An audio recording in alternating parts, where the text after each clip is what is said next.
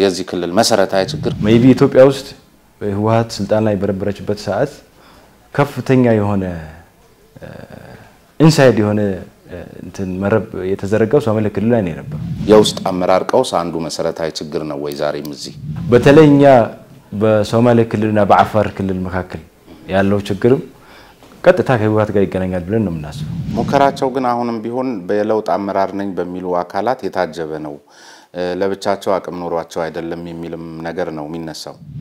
ግን የግድያ አይነቶቹም በጣም የተለዩ ነበር። ክልሉ እንደ ግድያ አይነቶች ቤተ ሙከራ ነበር የሚመስለው።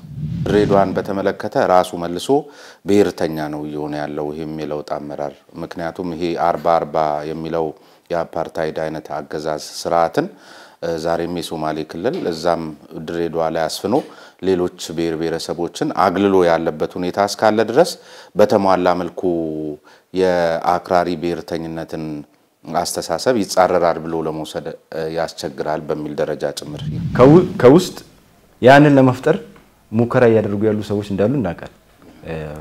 ባለስልጣናትን በማከፋፈል አንዱ በአንዱ ላይ እንዲነሳ በማድረግ እምነት እንዳይኖር ለማድረግ ከፍተኛ የሆነ ሙከራዎች ይደረጋሉ።